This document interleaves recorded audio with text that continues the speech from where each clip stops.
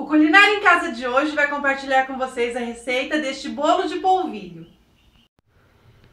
E para a receita de hoje nós vamos precisar de duas xícaras de chá de polvilho, doce ou azedo, duas gemas, uma colher de sobremesa rasa de sal, meia xícara de chá de óleo, duas xícaras de chá de leite, duas claras em neve, uma forma redonda untada, uma panela, uma colher de chá de fermento em pó e uma colher de pau. Vamos ao preparo?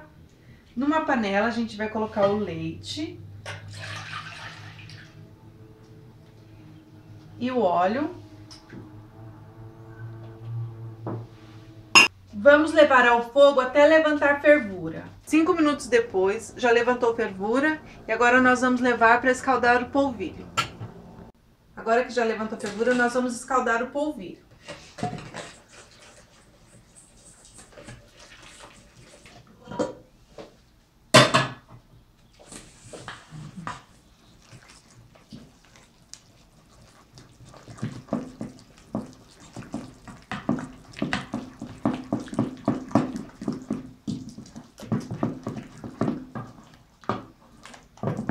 É assim que o seu polvilho tem que ficar.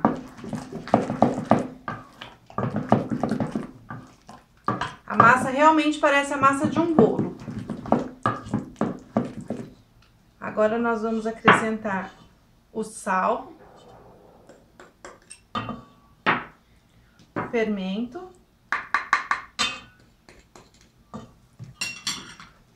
as gemas, vamos mexer.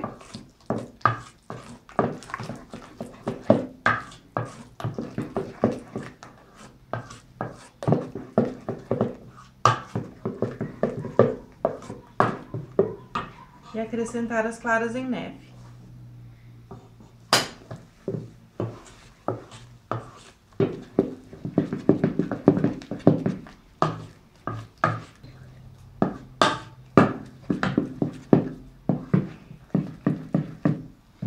Depois de bem mexido, a gente vai colocar na forma.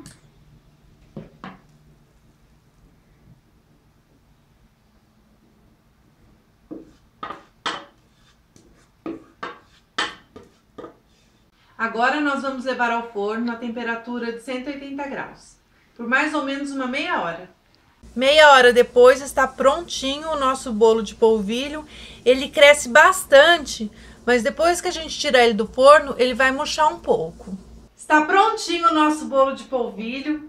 É uma receita muito rápida e eu espero que vocês tenham gostado. E o Culinário em Casa hoje quer fazer um agradecimento muito especial que é pro meu cunhado Claudinei, lá de Caldas Novas, esposo da minha irmã Elane. Claudinei, você mandou essa colher de pau pro Culinária em Casa.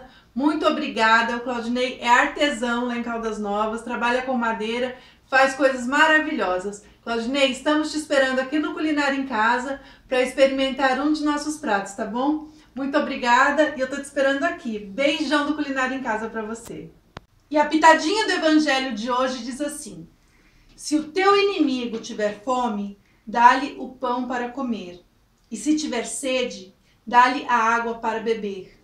Porque assim amontoará sobre a cabeça dele brasas, e o Senhor te retribuirá. Provérbios 25, 21. Beijos, muito obrigada e até o próximo. Deus tem um propósito em nossas vidas.